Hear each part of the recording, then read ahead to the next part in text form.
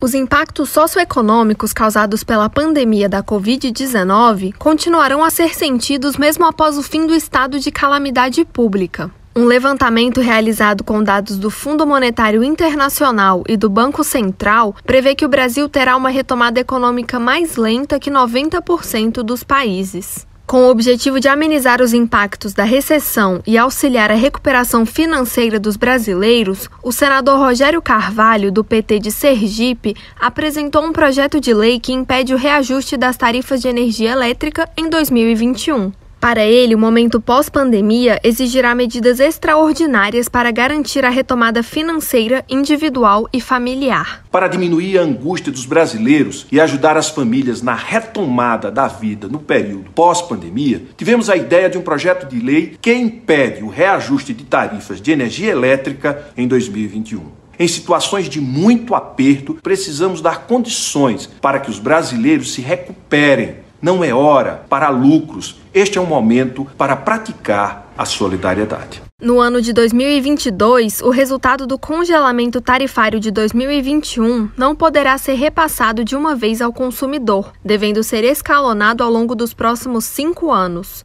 Com supervisão de Maurício Desante, da Rádio Senado, Lara Quinoe.